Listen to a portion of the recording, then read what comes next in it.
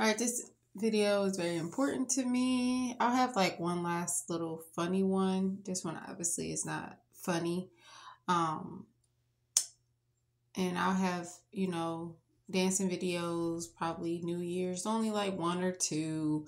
My main focus is the Bible, my books, um, nothing else, in Jesus and God. So let's get into it.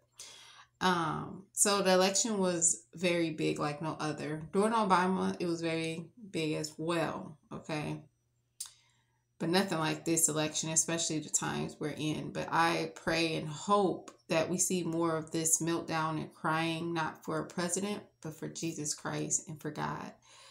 The meltdown, the crying, and I just pray and I know that this country believed that whether Trump won or Kamala Harris won, thinks that they can save them, and the only one is Jesus Christ and God.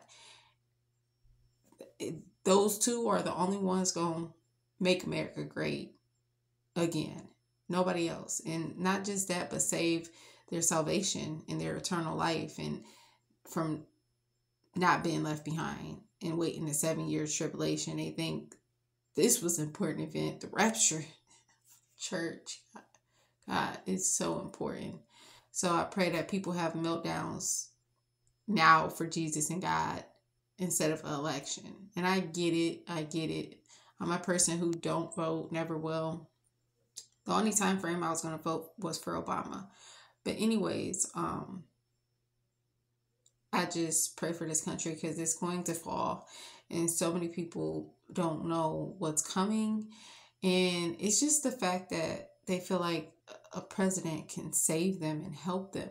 At the end of the day, they are careless where God loves them so much and God loved them so much. You want a relationship, not a religion with them, but a relationship with them. He's the one for the hope and faith for us when chaos hit. A president can't save you. When a hurricane, what happens during hurricanes? They take forever to help people. Hurricane Katrina, the Helen, Helena, the, the, the North Carolina. So when I see this meltdown, I just wish it was for Jesus and God versus a president that, first of all, don't care about you. They don't love you. They don't have the best interest in you. It's all about the money. Whereas with God and Jesus, is it's your your whole being as a human, and it's the best relationship ever. And and he's waiting for so many people to reach out to him to read their bible to get to know him to give him a chance give give believe in him heaven hell the rapture the tribulation seven years tribulation the second coming. This world will not be after the seven tribulation.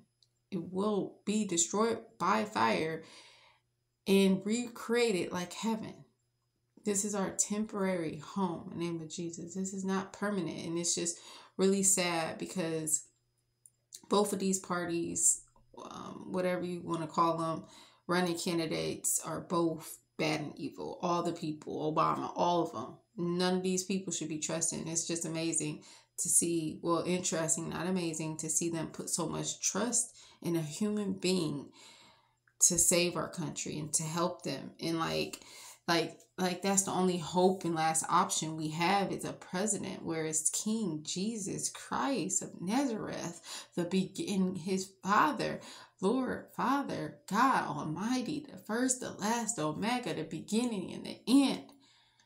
And you don't see that. You don't see people just melting down about jesus and god and whether it's in the schools or or you know, it's just you don't see meltdowns about God and Jesus anymore. You see meltdowns about a president in an election as if that's going to help us. It's it's not going to help us.